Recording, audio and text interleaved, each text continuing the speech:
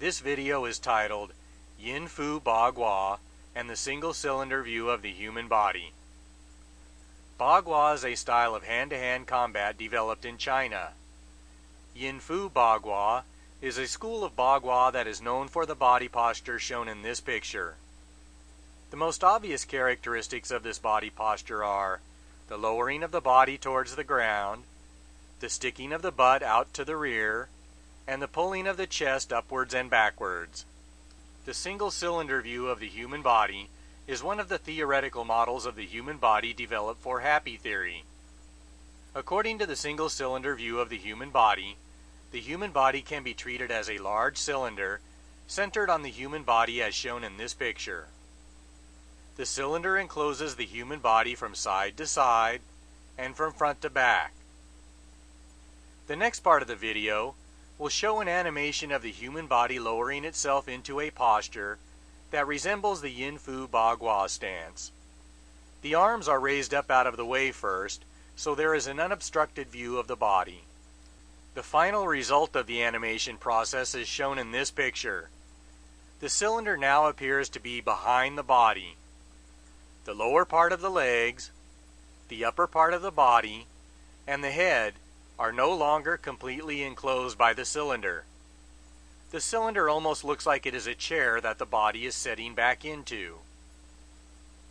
This picture emphasizes how the largest part of the body that the cylinder now encloses is the lower part of the back and the pelvic area.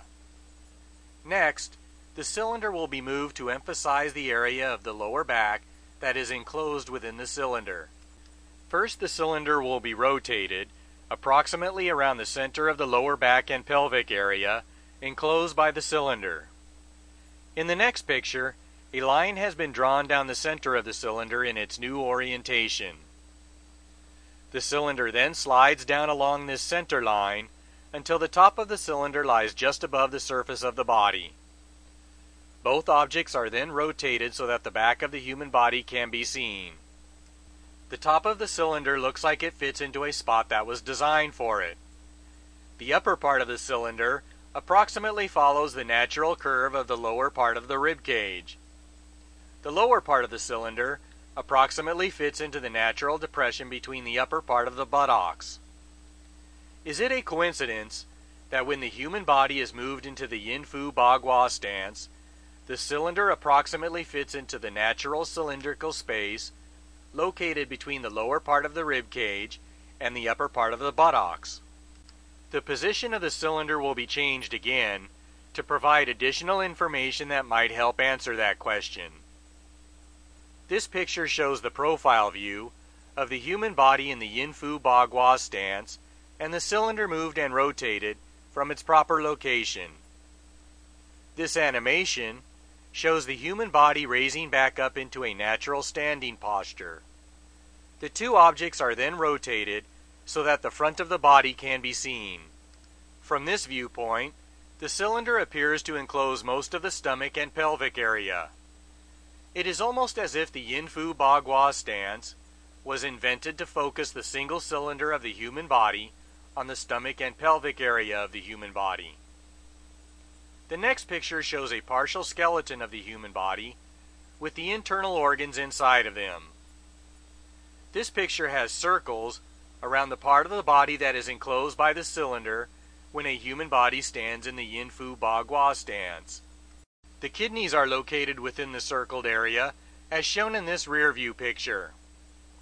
Part of the stomach is located within the circled area, as is part of the liver. Most interestingly of all, a large part of the intestines are enclosed within the circled area. As you progress in your practice of Kung Fu, you will learn that the intestines are very important to the practice of Kung Fu. If a person was trying to figure out the purpose behind the Yin Fu Bagua stance, the previous demonstration might provide some clues.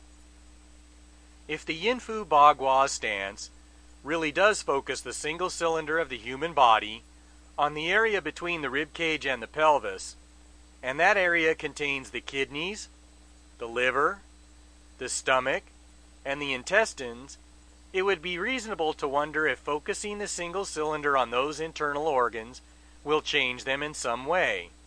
Since Yin Fu Bagua is supposed to be healthy for the practitioner, it would be reasonable to suspect that focusing the single cylinder of the human body on the internal organs located in the area between the rib cage and the pelvis by positioning the body in the Yin Fu Bagua stance would either strengthen those internal organs or improve their health in some other way.